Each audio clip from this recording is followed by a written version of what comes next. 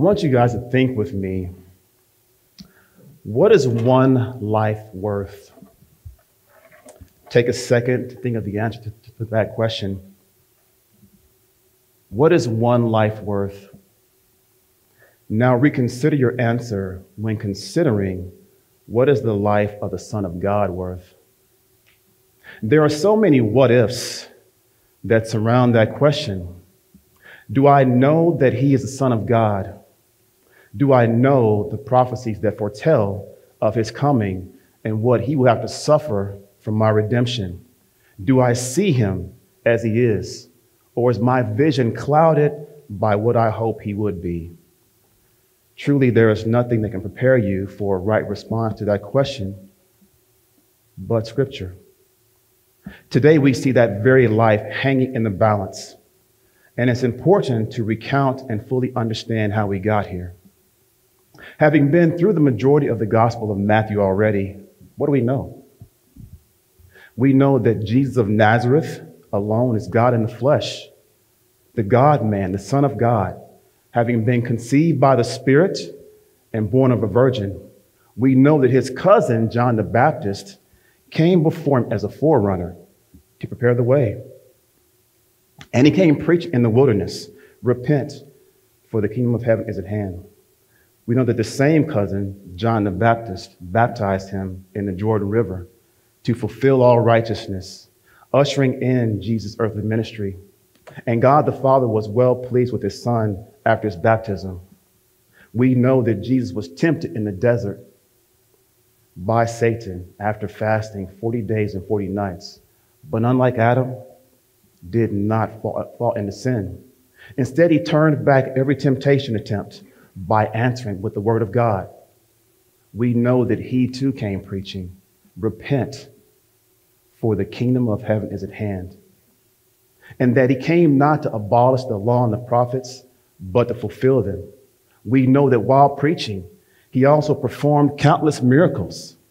And many heard and saw and believed, but he also exposed the self righteous hearts and hypocrisy of many, including the Jewish leaders of the day. We know that over the three year span of his earthly ministry, their jealousy and animosity towards him grew so much that the Jewish leaders plotted, schemed, and invented ways to incriminate him in hopes of ensuring his execution.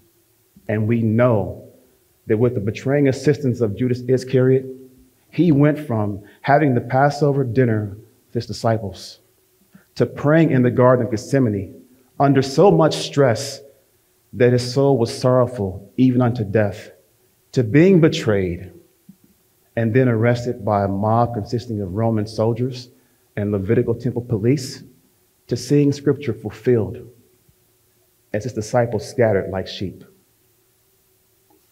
And this was just the beginning. The next 15 hours of Jesus' life would be grueling, unlike anything known to man. He would be falsely accused, lied on, unofficially condemned to death by the Jewish religious leaders. He'd be struck, spit on, and slapped by them thereafter. And all this before daybreak. The next morning, he would stand trial before the governor of Judea, Pontius Pilate, who would find no fault in him, but he would still be officially condemned to death. He would then be handed over to the Roman soldiers to be scourged and then delivered up to be crucified. And this is where we pick up his journey this morning. If you have your Bibles, open them and turn them to Matthew 27.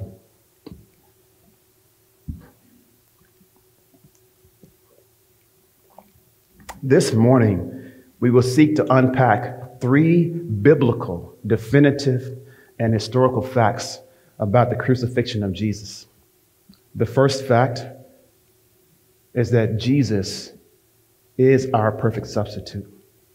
He is our perfect substitute. And if you like taking notes, that's in verses 27 through 44 of Matthew 27. Secondly, we'll examine why he is the only satisfaction for our sins, why his death is the only satisfaction for our sins. Verses 45 through 50. And then lastly, we'll understand why he is the only way we can be reconciled to God. And that's in verses 51 through 66.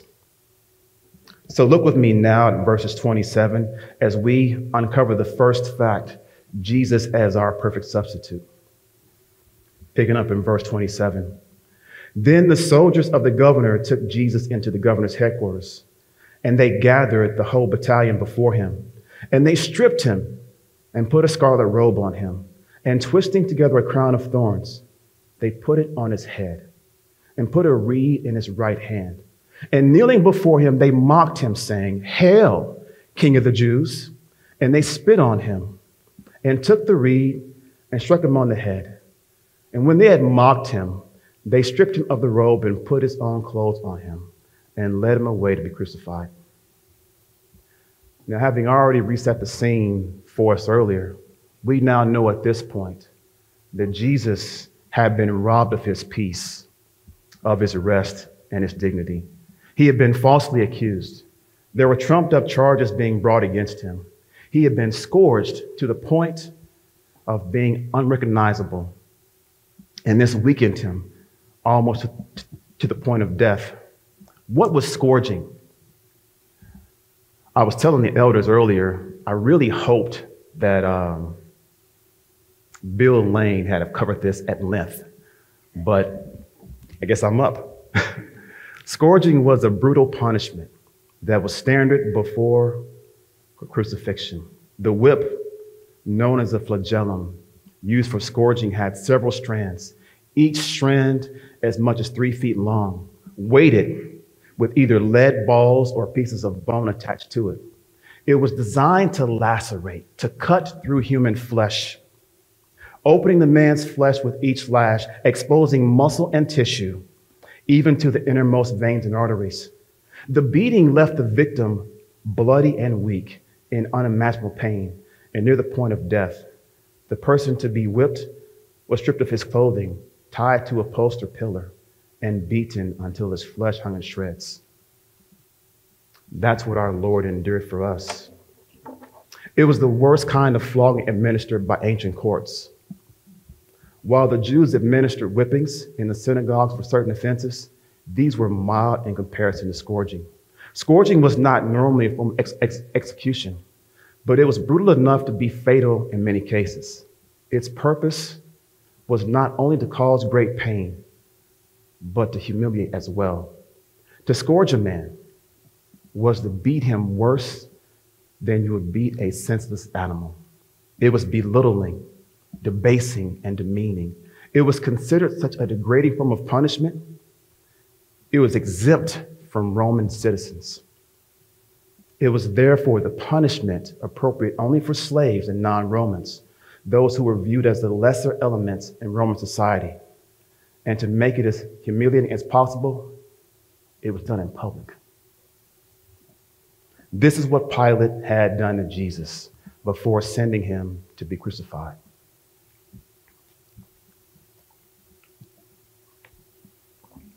And now at the governor's mansion, he was under the mocking and persecution of the whole battalion assigned to the governor, which could have been anywhere from 150 to 200 men known for their merciless and sadistic games with condemned prisoners. They treated him like a criminal. Knowing the false charges being brought against him, they stripped him of his clothing and replaced him with a scarlet robe. Matthew says they put a crown of thorns on his head that they made, but the reality is it was more than likely mashed onto his scalp. And then to add the finishing touch, they put a reed in his hand as if it was his royal scepter and mockingly knelt before him, saying, Hail, King of the Jews. Not one person, but up to 200 did that. The irony, though, is that their actions exemplified the truth. They were crucifying a king, but not just any king. The sinless king of glory was being put to death as if he had committed the most heinous crimes Continuing to seek ruthless pleasure at his expense, the soldiers spit on him and hit him on the head with a reed, which was more than likely made of wood. And if the mocking wasn't enough, they then stripped him of the robe, put his clothing back on him, and led him away to be crucified. And just to think, this wasn't even the worst of his suffering. Look with me at verse 32, please. As they went out, they found a man of Cyrene, Simon by name. They compelled this man to carry his cross. And when they came to a place called Golgotha, which means a place of a skull, they offered him wine to drink, mixed with gall.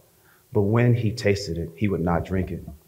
And when they had crucified him, they divided his garments among them by casting lots. Then they sat down and kept a watch over him there. So the battalion led him away from the governor's mansion to Golgotha to crucify him. But after being scourged, he was too weak to carry his cross.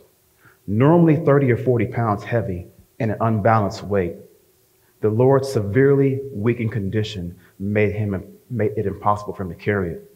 Not only would he have lost mounds of blood, but the skin and muscles on his back would have been shredded and his internal organs likely compromised and starting to shut down. Seeing this, Matthew says the soldiers compelled Simon of Cyrene to carry Jesus' cross. But I don't know, man. That's just, that's far too gentle. I feel like Luke's gospel more fully describes what happened. Luke 23 26 says, They seized one Simon of Cyrene who was coming in from the country and laid on him the cross to carry it behind Jesus.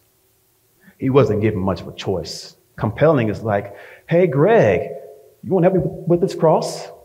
Yeah, no. They grabbed that man and told him, this is what you're going to do. They had him carry Jesus' cross to Golgotha, a place outside of the city walls. It was both Jewish and Roman custom to crucify here instead of within the walls, both with different significances. The Romans wanted those condemned to die to serve as a spectacle, an example of the consequence of challenging Roman authority. But the Jews were different. They associated holiness and purity with places. So they wanted the execution done outside of the city where the unclean were dealt with. Not only had Jesus been scourged and at this point headed to be crucified, but it's important not to miss the relevance of the intangible of perception here. It wasn't by accident that Jesus was being crucified, executed for the sins of the world, since he did not commit. It wasn't by accident that scourging was standard practice before crucifixion. It wasn't by accident that scourging was only appropriate for slaves and those seen as less than. And it wasn't by accident that Jesus was being treated as unclean by being crucified outside the city, even though he was sinless. This was customary. The question is why? Well, God hates sin and is faithful and just to judge it. In his providence, what Jesus was suffering, even down to these humiliating fine details, is both the stored up wrath of God towards sin and his love for his covenant people being put on display by causing Jesus to bear the great burden of paying the penalty for our sins. And we'll continue to see that build as we draw closer to the climax of this passage. When they arrived at Golgotha, the soldiers offered Jesus wine and drink mixed with gall, but he would not drink it. This was for two reasons. The first is because this would have had a mild numbing effect, which would have taken a slight edge off the physical pain he was experiencing. But that wasn't the Father's will. The second reason was because gall was a bitter herb that could even be poisonous. And dying before going to the cross to suffer was not how God had preordained Jesus to pay the penalty for our sins.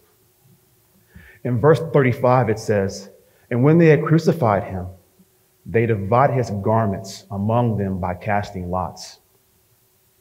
Now, all four gospel accounts say relatively the same thing about his crucifixion. Not much at all. This was probably because crucifixion was the most common form of Roman execution during that time, but there was nothing common about it. It was widely considered to be the worst form of Roman execution due to the combination of torturous pain and public shame. The Jews looked upon it with horror because the Mosaic law declares, Cursed is everyone who was hanged on a tree. And yet, Here was the Lord of glory about to suffer the full wrath of God for crimes and sins that he never committed.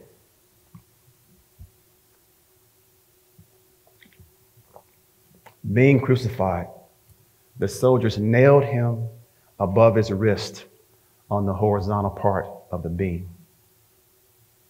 And his feet were placed one on top of the other and then nailed to the vertical part of the beam, hanging on the cross.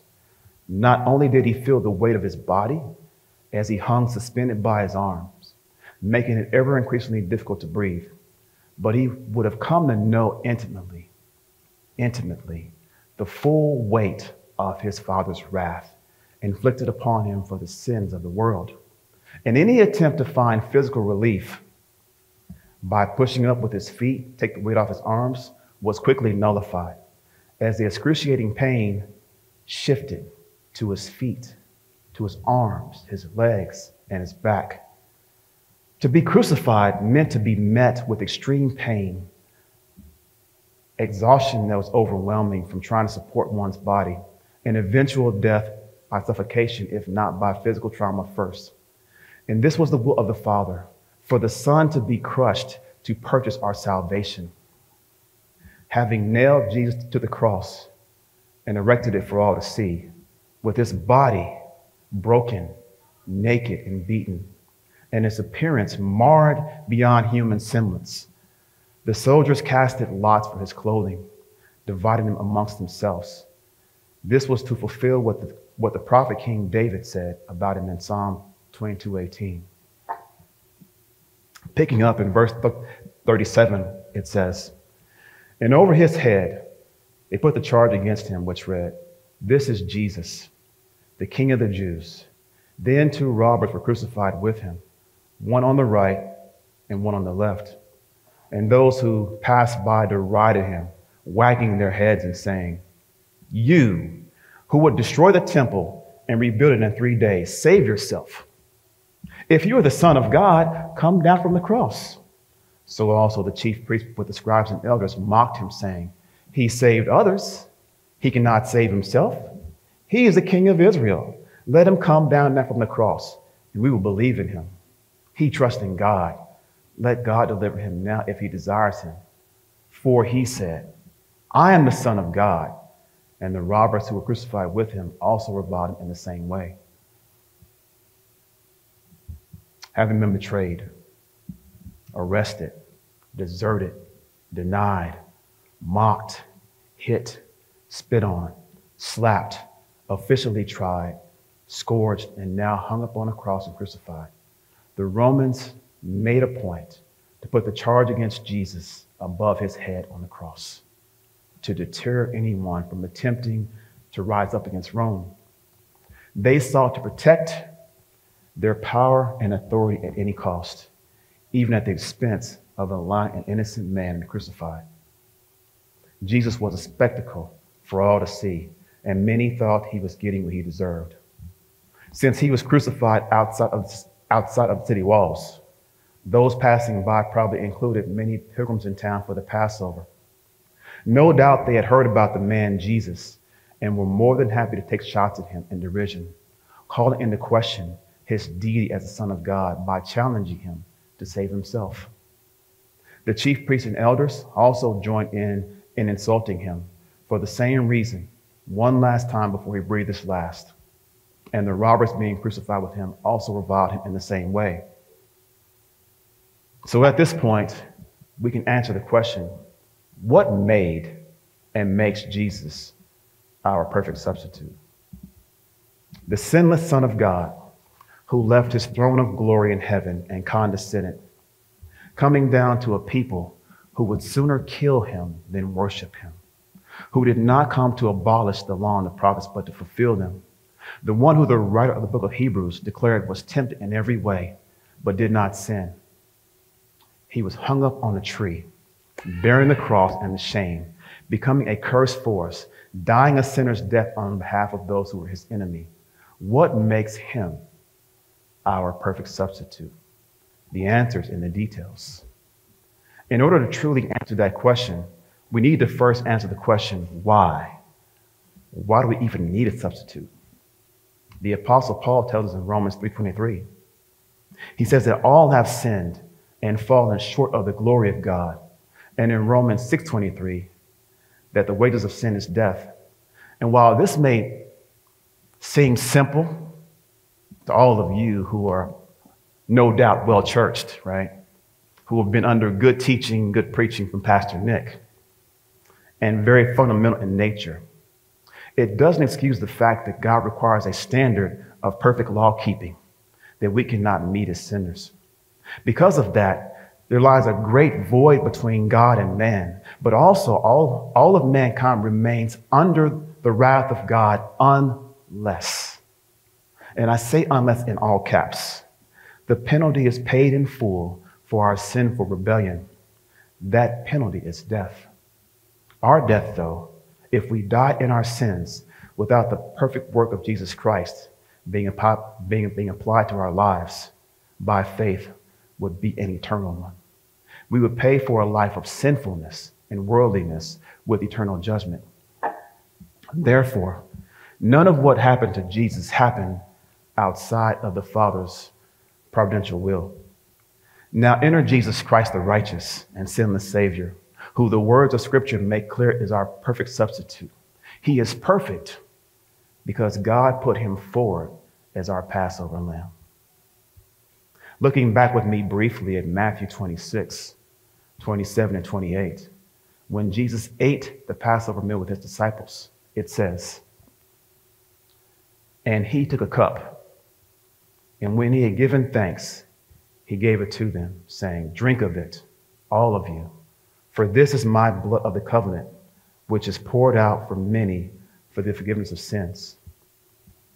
Now, to remind you, the Passover meal was celebrated annually by the nation of Israel in remembrance of the original Passover in Egypt, while they were still being held captive as slaves to, to, to the Egyptians. At the first Passover, excuse me,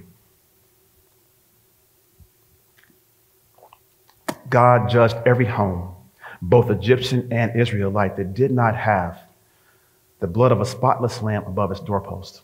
Those who did, the spirit of death passed over, and their firstborn, firstborn son was spared. But those who didn't lost their firstborn son.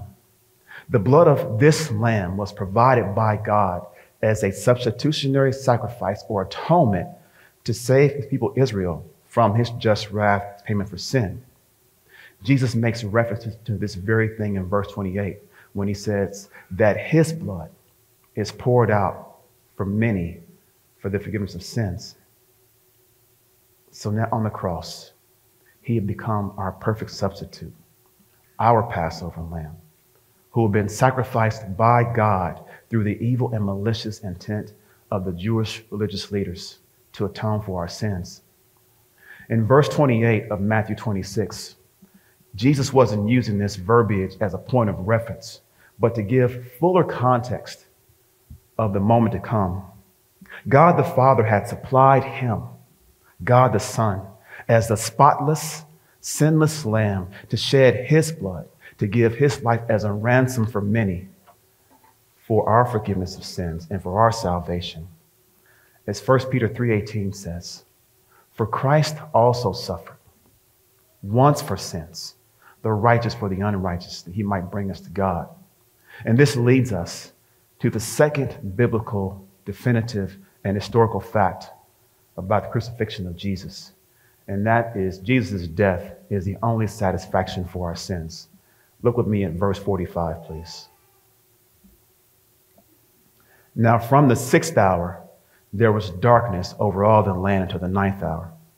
And about the ninth hour, Jesus cried out with a loud voice, saying, Eli, Eli, lema sabachthani.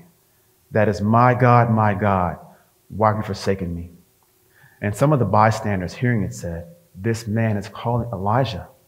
And one of them at once ran and took a sponge, filled it with sour wine, and put it on a reed and gave it to him to drink. But the others said, Wait, let us see whether Elijah will come to save him. And Jesus cried out again with a loud voice and yielded up his spirit. Up to this point, Jesus had suffered in silence. He had been the butt of mockery and reviling, whether it was at Caiaphas' headquarters, the Praetorium, or now on the cross. But now Matthew shifts the focus onto Jesus himself. And we are given a greater perspective and understanding of the significance of his suffering on the cross. He was crucified at 9 a.m., and from 9 until noon, he hung in the sunlight. But at noon, a miraculous darkness covered the land. This was not an eclipse, since Passover occurred during the full moon. No, this was a sign of God's displeasure and judgment on the sin of all humanity. What is interesting is there were three days of darkness in Egypt before Passover, and there were three hours of darkness before the Lamb of God died for the sins of the world.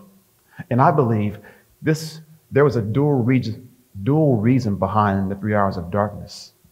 First, God judging his son for our sins, not for his. And second, equally a wake up call to mankind who had spurned his son and nailed him to a cross to the horrible reality of the judgment of God to all who do, who do not believe in the work of his son. What is also interesting is that Jesus had spoken at least three times before darkness fell. In Luke 23 34, while they were nailing him to the cross, he prayed, Father, forgive them, for they know not what they do. Also in Luke 23, he spoke to the repentant thief and assured him of place in paradise. And then in John 19, he gave his mother to John, the disciple he loved to care for. But when the darkness fell, he was silent for three hours. And after three hours, the darkness lifted, and Jesus cried out, My God, my God, why have you forsaken me? It was during this time of darkness that he had been made sin for us, that the Father crushed him for our iniquities, laying on him the iniquity of us all. And his words declared he had been forsaken by the Father. The Father turned his back on him, severing all communication while the Son hung in agony suffering the fullness of the wrath of God that should have been spent on all of mankind. And his extraordinary cry put on display the depth of his suffering as he became a ransom for many. The darkness was a symbol of the judgment he endured when he was made a curse for us. And notice, too, that this was the only time that Jesus does not address God as Father an indication that during this time, even the most intimate relationship of father and son had been broken. I like how one commentator put it. He said, in some sense, Jesus had to be cut off from the favor and fellowship with the Father that had been his eternally because he was bearing the sins of his people and therefore enduring God's wrath. In quoting Psalm 22 1, which is, My God, my God, why have you forsaken me? Jesus probably had in mind the remainder of the psalm as well, which moves on to a cry of victory. And he expresses this faith by calling God the Father, my God. When Jesus cried out, he spoke in Hebrew, and the spectators did not understand him. They thought he was calling on Elijah for help. Quickly thereafter, he spoke three more times. He said, I thirst in John 19:28, fulfilling Psalm 69:21. Someone heard him and kindly moistened his lips with sour wine, while the others waited to see if Elijah would come help him. Then he shouted, words that you and I love to hear. It is finished. In John 19:30. And then lastly, Father, into your hands I commit my spirit. In Luke 23:46 and he breathes breathed his last de- uh, breath, just as Jesus said he would. He laid down his life. No one took it from him. He was in complete control of his faculties and voluntarily gave up his spirit and died. He had fulfilled the law by obeying it perfectly. He had fulfilled the prophets by fulfilling prophecies about himself as Messiah. He even willingly went to the cross to pay the eternal punishment as the perfect substitute for our sins. And in doing so, he fully satisfied the just wrath of God, becoming our propitiation. Not just that, though. When he died, he enacted the new covenant in his blood that he mentioned at the Passover dinner with his disciples, which is spoken of by the prophets Jeremiah and Ezekiel. Salvation, as it had always been, would be by grace alone, through faith alone. But since the curse had been paid in full when Jesus paid the ransom for our sins with his blood, and guilt would no longer be our master or have a stronghold on us.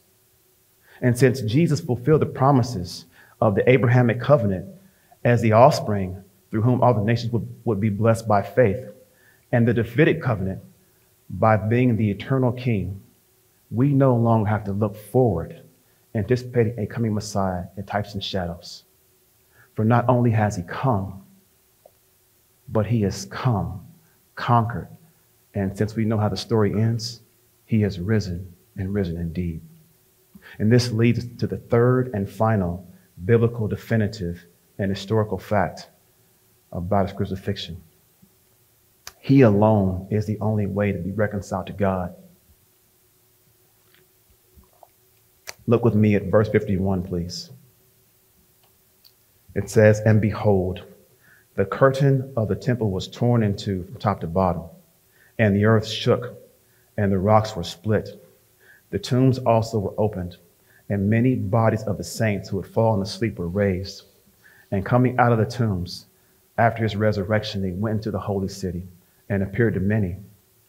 When the centurion and those who were with him, keeping watch over Jesus, saw the earthquake and what took place, they were filled with awe and said, Truly, this was the Son of God.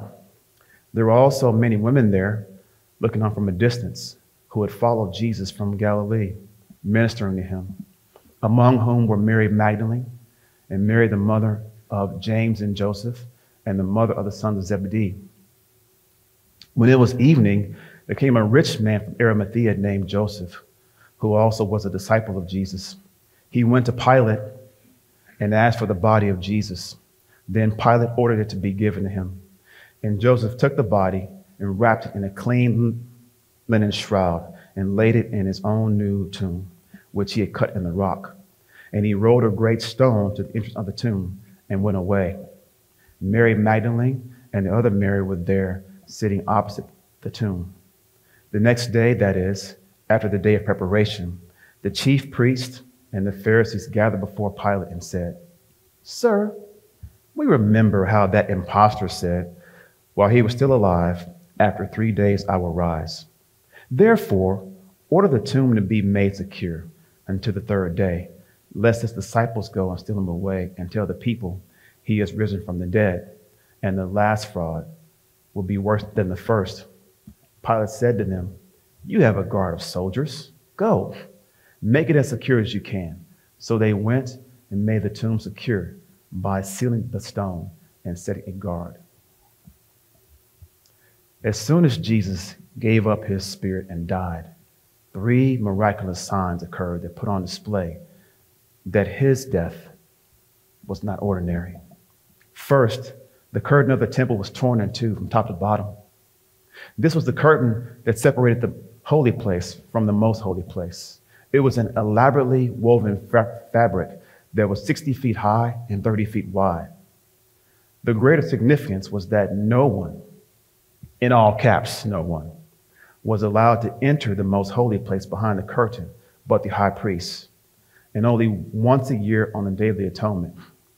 But the rending of this curtain symbolized the removal of the separation between God and all who believe through the death of God the Son, Jesus Christ.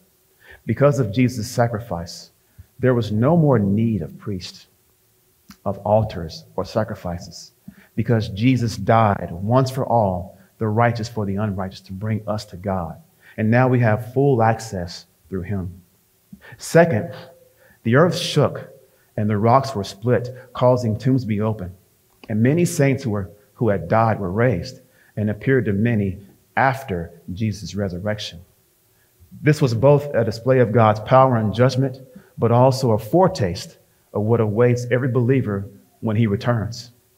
Notice that those who were raised didn't appear to many until after Jesus' resurrection.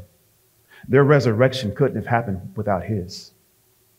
He alone is the firstborn of many brethren, and their resurrection, along with ours, would not be possible without his actual death and his resurrection. The third miraculous sign was the result of the first two, combined with the character they saw Jesus display of self control, grace, and love. And that sign was the response of the centurion and those with him keeping watch over Jesus. They said, Truly, this was the Son of God. Their confession says a lot. But while this did not warrant saving faith, it does indicate a great awareness and potentially open heart to the truth that Jesus was the Christ who died so that we might live in him. The miracle, though, here is that once again, God allowed the Gentiles to see what, Jewis's, what Jesus' Jewish persecutors could, could not.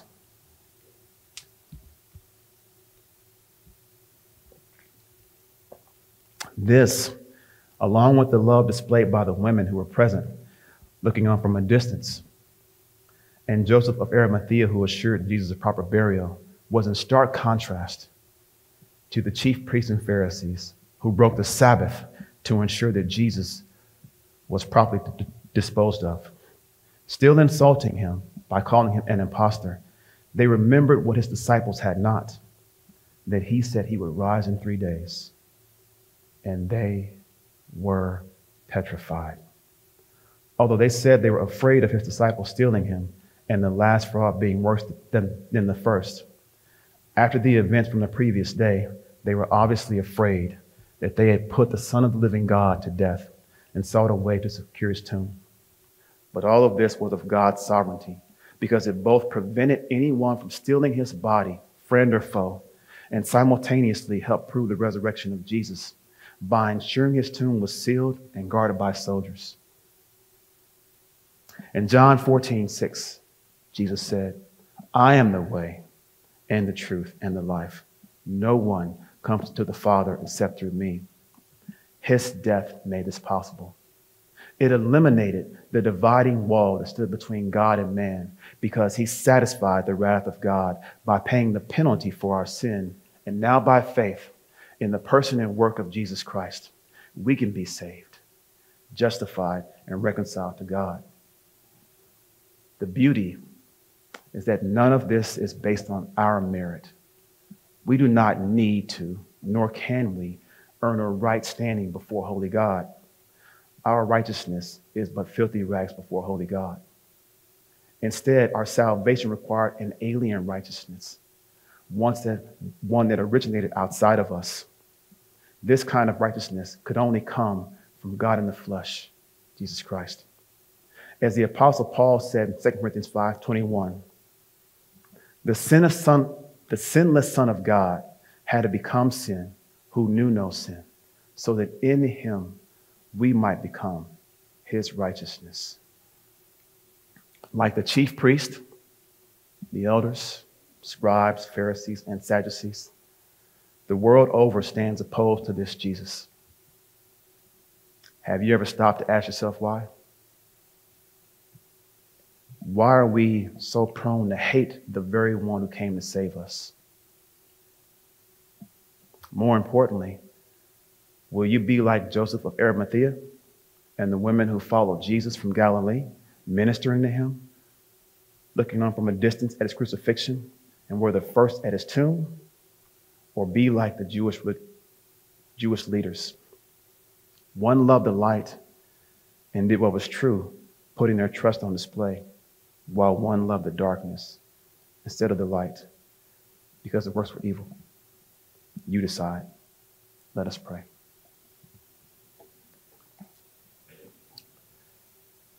Father, it's good to be broken. It's good to see our sin for what it is an abomination before holy God. It's good to feel the weight and the gravity of our sin. It's good to know with great conviction that if we rely on our own strength, on our own merits, on our own works, that the end result will mean we perish, we suffer your eternal wrath. But it's also good to know, Lord, that you, O oh God, paid the penalty for our sins. That you, O oh God, stepped into time and space and gave your life as a ransom to free us, to redeem us, to ransom us, to ensure that we can spend eternity with you. And I pray that we not lose sight of that today, tomorrow, next week, this month, forever. I pray that and instead we hold fast to what is true. That we hold fast to the great reminder that Christ came to redeem sinners, of which we are the foremost. I pray that you bless us in Jesus' name. Amen.